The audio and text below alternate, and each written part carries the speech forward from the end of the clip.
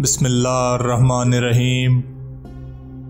शुरू अल्लाह के पाक नाम से जो बड़ा मेहरबान, नहायत रहम वाला है। बेशक सबसे ज़्यादा सवाब मिलने वाली नेकी एहसान है और बिलाशुबा तमाम कामों में नेक अंजाम वाला काम सब्र है। बेशक वो एहसान करम जो तूने किसी के साथ किया है वो दर हकीकत तूने अपनी जान के साथ किया है और इसके ज़रिए अपनी इज़्ज़त को महफूज रखा है।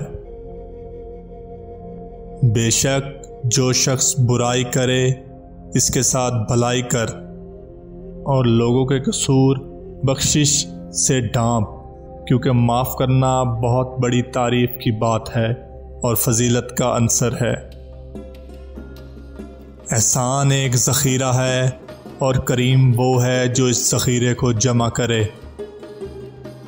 जो शख्स लोगों से एहसान और नेकी करता है, उसकी सब लोग तारीफ़ व तकरीम करते हैं। जो शख्स अपने एहसान को जतलाता है, वो इसे मकदर और ख़राब कर देता है।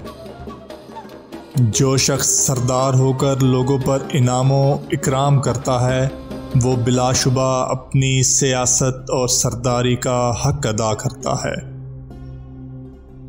जो शख्स अपने एहसान को, जो वो लोगों के साथ पहले किया करता था, जब इसे रोक देता है तो अल्लाह ताला इससे फरागी और कुदरत को ज़ायल कर देता है। जो शख्स लोगों के साथ एहसान और नेकी के साथ बर्ताव नहीं करता लोग इसके शुक्रगुजार नहीं होते। जो शख्स बुरे लोगों के साथ एहसान करता है, वो खुद उनके शर से भी सलामत नहीं रहता। जो शख्स अपने एहसान को जतलाता है, वो गोया एहसान नहीं करता। जो शख्स अपने मोहसिन के एहसान को छुपाता है, वो महरूमी की सज़ा पाता है। और जो शख्स बावजूद कुदरत के लोगों के साथ एहसान नहीं करता, इसकी कुदरत और ताकत सलब ज़ायल हो जाती है।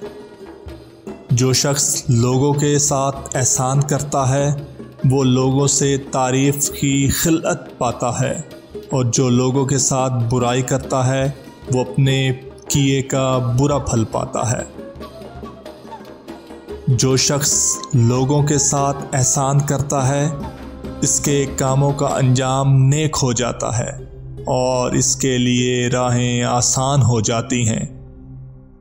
जो शख्स लोगों के साथ फजल व एहसान करता है, लोग इसकी सरदारी के शुक्रगुजार होते हैं और जो इनके साथ नेकी करता है, सब इसकी आदत के सनाखा रहते हैं। एहसान एक ज़ख़ीरा है, बस तलाश करो कि किस शख्स के पास छोड़ते हो। लोगों के साथ एहसान करना नहायत आला दर्जे की बख्शिश है। औरतों पर अपने बोझ ना डालो, यानी जो काम खुद ना कर सकते हो, वो उनके सर पर ना डालो, और जहाँ तक हो सके औरतों से मुस्तगनी रहो। क्योंकि इनकी आदत है कि वो अपने एहसान को बार बार जतलाती हैं और शोहर के एहसान को भूल जाती हैं।